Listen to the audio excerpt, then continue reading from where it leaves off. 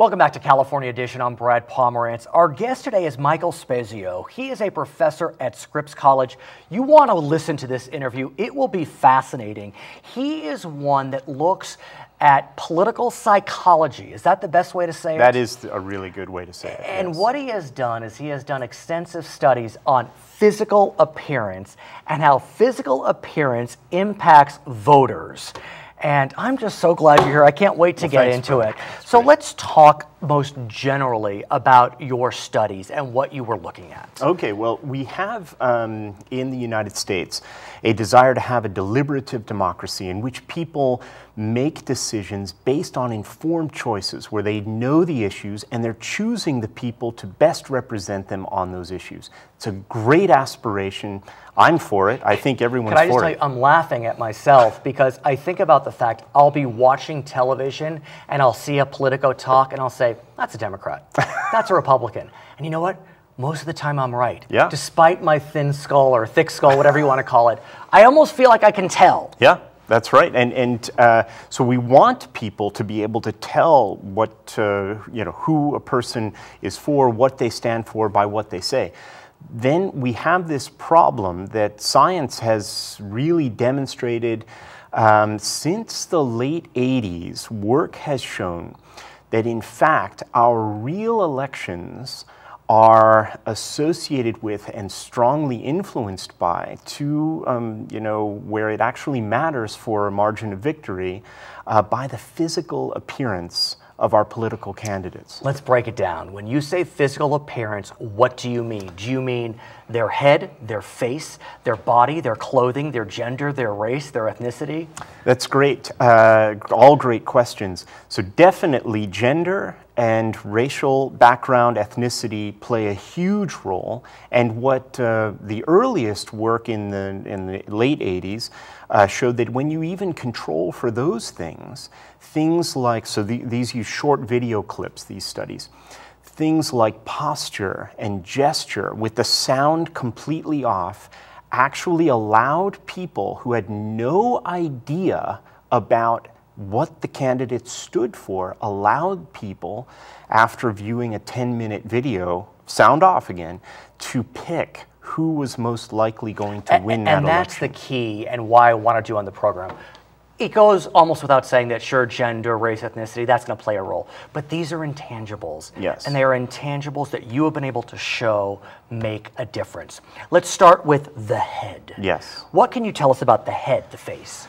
Well, so we know that um, from a series of studies that uh, what you think about a person in terms of how attractive they are um, can make a difference, but only under certain circumstances. Um, and I want to emphasize that these differences are small, um, but they're well above chance level. So that if mm. you were a betting person, you could get you know 200 people into a room and, and put real races side by side and get the results from those and go to Vegas and you would make money. But what's interesting about your studies mm. is you have done analysis where the face is covered. All the person is seeing is really the hair and the jawline. That's right. So it's not just it's not um, facial expressions per se. It's beyond facial expressions. That's right. So when we control, so we published a study in 2008, and again a new study that just came out right. in May of 2012. And when we uh, control for uh, matching um, head size, head position, so direct gaze toward the camera, when we control for race and ethnicity, when we control for gender, so that means each pair sure. is either a man or uh, a, a, woman pair. Um, when we control for all of that, we still see these effects. And then what was Stunning. really shocking for us and this was um, uh, a collaborative project with a student at Scripps College sure. where I teach. She did this for her senior thesis at Scripps. We ask all of our students to you. do a capstone project. Mm-hmm. And uh, she really got into it. And she, what she did is she obscured the faces. Right and she left the hair, she left the jawline, and she left the clothing, the posture. These were all still images, and then we uh, displayed these images for all of about a second, side by side. People picked, and they were predictive. And they were predictive. How it was amazing. And I say this specifically for men is a good hair. or having hair. It, it, it turns out that it's uh, somewhat important if you're um, older, but if you're actually um, if you're actually uh, say, age. say middle Yeah. age, or if you have an older person who's an incumbent, that can overcome some of that. Uh, Let's talk about posture and clothing. Mm-hmm. How important are those two elements? Well, we, we're still, those studies are still ongoing to determine exactly what is contributing and how much uh, a person's cleanliness of clothing and sort of cultural um, norm of clothing, as well as cultural norm of hair and posture, these things are, are, are, are ongoing. What's really interesting to me is we thought at one point, even as recently as about a year ago, that it was all down to the face. And so politicians didn't have any control over the face. They had, well, within limits, Within limits, uh, yes. surgical limits. Yes, of course. Um, but now we are seeing that other aspects over which politicians can exert more control also have a significant effect, which may indicate that our deliberative democracy may not be as much in danger as we thought. That is, um, oh, go ahead. No, please, but because it's interesting, I think about the current presidential race. Mm-hmm.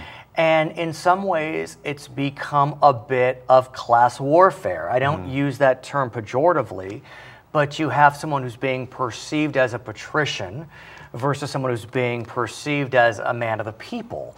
And I have to think that how they dress, how they do their hair, I mean, that's going to matter. That's because right, it can play right into that narrative. Yeah, our, our research suggests that when you get to a level of the presidency, which so many people tune into, that these matters of appearance make some difference still, um, but not as much Sure. as when you have much of the voters, um, say, who are uninformed about their senator or their uh, state or federal representative.